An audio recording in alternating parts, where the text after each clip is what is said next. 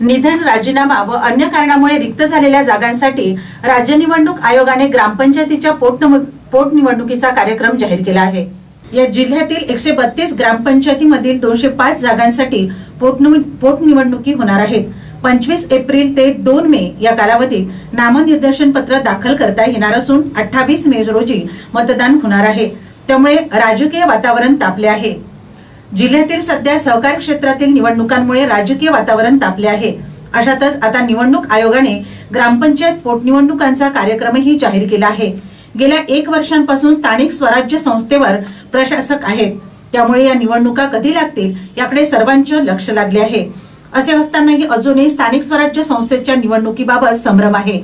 दुसरीकडे राज्य निवडणूक आयोगाने पोटनिवडणुकीचा कार्यक्रम जाहीर केला. जिल्ह्यातील एकशे बत्तीस ग्रामपंचायतीसाठी पोटनिवडणूक होणार आहे.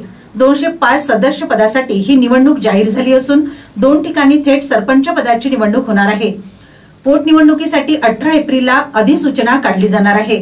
पंचवीस एप्रिल ते दोन मे या कालावधीत रिक्त जागांसाठी नामनिर्देशन पत्र दाखल करण्यात येणार आहे.